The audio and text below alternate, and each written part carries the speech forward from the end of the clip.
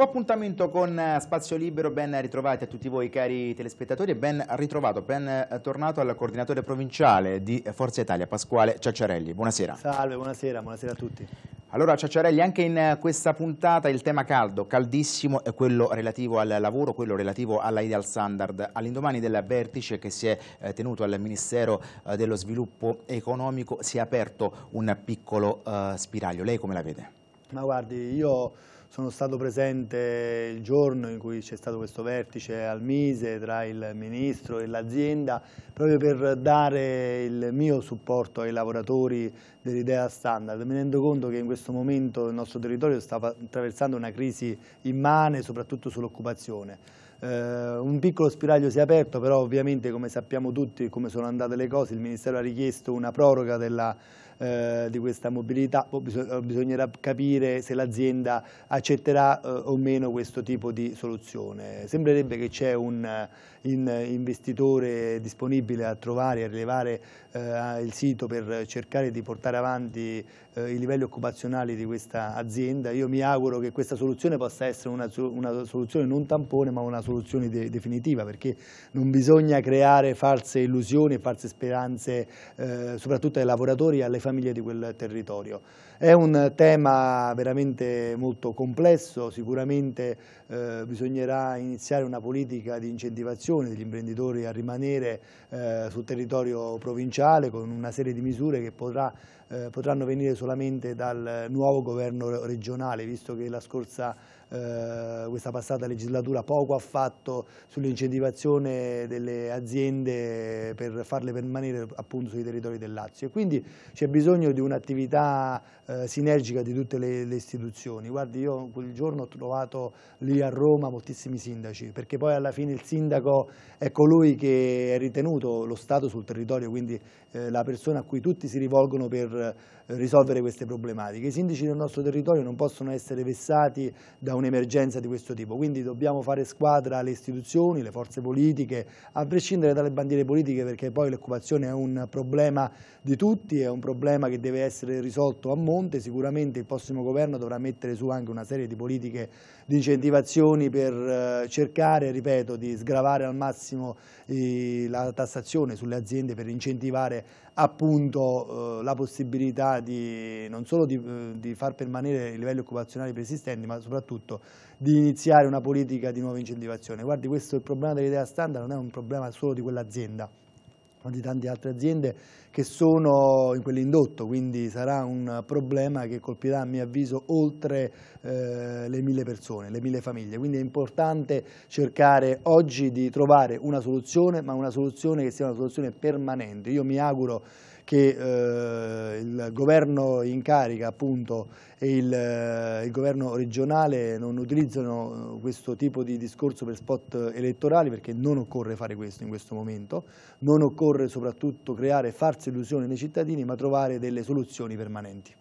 Ecco Ciaciarelli, a proposito di eh, lavoro, un altro tema caldo è quello relativo all'FCA e agli interinali. Fra 15 giorni più o meno scade il contratto eh, degli interinali. Secondo lei che cosa deve fare ora la politica per scongiurare il peggio? No, guardi, lì c'è stato in effetti un, eh, una beffa, perché noi ricordiamo tutti quando eh, Matteo Renzi venne nel nostro stabilimento accompagnato dai vertici del PD per eh, diciamo, sbandierare all'indomani di una campagna elettorale, di una tornata elettorale che era quella del 4 dicembre, il referendum costituzionale, eh, dove praticamente si sarebbe eh, dovuto scegliere quale, eh, che fine dovevano fare ovviamente le modifiche costituzionali importanti eh, sulla Costituzione in quel momento. Ricordiamo bene com'è andata, il popolo italiano ha scelto di non eh, mettere le mani sulla Costituzione e di bocciare il governo Renzi. In quella fase furono promesse addirittura 1800 assunzioni e quella promessa ovviamente non è stata mantenuta e di quelle poche eh, centinaia di assunzioni che sono state fatte, tantissimi giorni sono tornate a, a casa casa purtroppo senza lavoro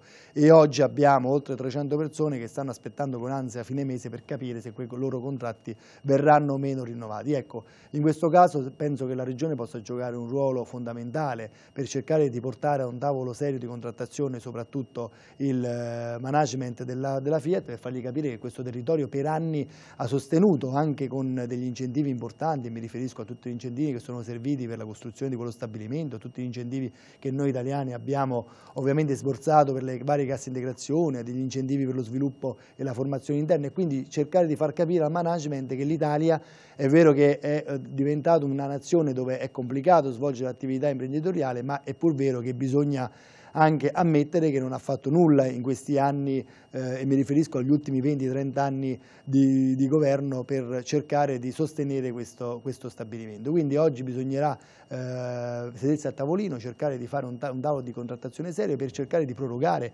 di, in maniera seria, però ripeto anche qui non un unico, uno spot di campagna elettorale, ma una proroga che poi possa servire in qualche maniera ad incardinare in maniera stabile i contratti di questi ragazzi in questo stabilimento che è il fiore all'occhiello non solo della provincia di Frosinone, non solo della Bassa Ciociaria perché quella è la più grande azienda del Lazio e noi siamo fortunati ad, ad ospitarla in questo territorio. Quindi riteniamo che è un valore aggiunto, tutti insieme, e mi riferisco alle istituzioni locali, ai sindacati che devono fare la loro parte, alla regione, al governo, dobbiamo cercare di creare le condizioni affinché il management Fiat possa in qualche maniera trovare la forza e anche le idee per continuare questa, questo percorso di stabilizzazione di questi dipendenti. Ecco, non solo eh, lavoro, coordinatore, un altro tema importante sentito in eh, provincia di Frosinone è quello relativo alla sicurezza ma anche al sovraffollamento nelle carceri eh, della Ciociaria. Lei come crede si possa intervenire per scongiurare ulteriori episodi di violenza come quelli che si sono verificati nel recente passato? Guardi, io su questo argomento sono tornato molte volte, anche non essendo un argomento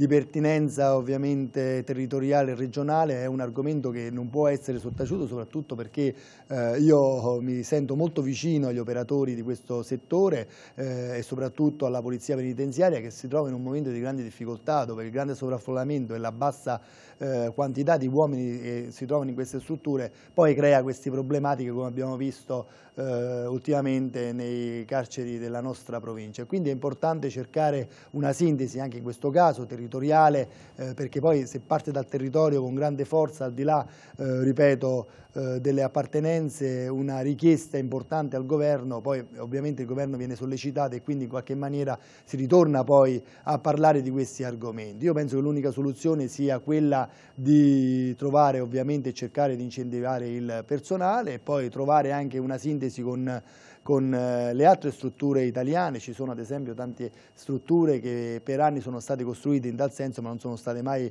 eh, collautate ed utilizzate per eh, iniziare questo percorso. Una tra tutte ad esempio ce l'abbiamo anche in questa provincia, ad esempio a Pontecorvo era stato costruito addirittura un, un carcere femminile no? che poi non è stato mai utilizzato eh, e mai messo in opera in, in, tal senso e quindi cercare in qualche maniera di ricollocare queste persone che devono scontare la, la pena, di iniziare iniziare un percorso anche di riabilitazione di queste persone al di fuori dal, dal carcere, magari in attività sociali, eh, è un, um, un, tipo di progetto che io stesso ho sposato quando eh, sono stato presidente dell'ente consorzio dove eh, ho chiesto la collaborazione appunto di alcune persone che potevano dare un'utilità sociale e quindi aiutare eh, anche le comunità eh, e soprattutto iniziare un percorso di recupero eh, tra la società civile. Quindi è importantissimo trovare una sintesi, sono tantissimi comuni che lo hanno già fatto, eh, anche a San Giorgio Alliri con i servizi sociali avevamo eh, negli anni portato avanti un progetto proprio per far scontare determinate pene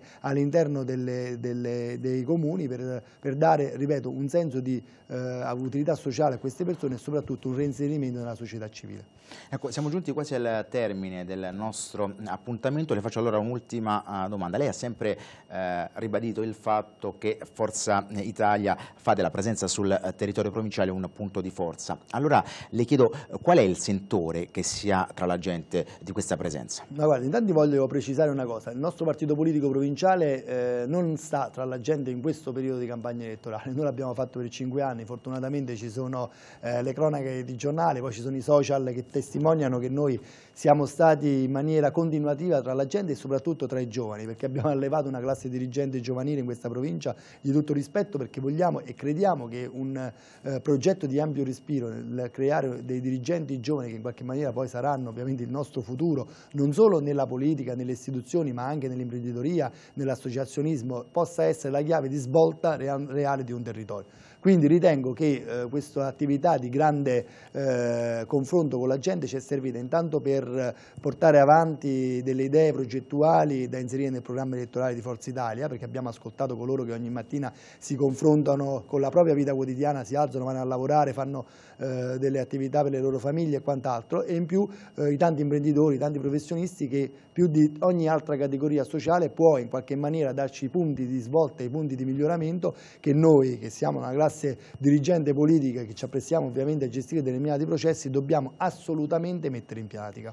Perfetto, siamo giunti allora alla conclusione del nostro appuntamento, tanti gli argomenti da affrontare che affronteremo ovviamente nel corso prossime, dei prossimi appuntamenti, per il momento è tutto, io la ringrazio allora della sua presenza, di aver eh, chiacchierato eh, con noi, le do appuntamento ai prossimi impegni con Spazio Libero. Grazie, un saluto a tutti e auguro a tutti buona serata. Allora anche da parte mia grazie e buon proseguimento in compagnia di Teleuniverso.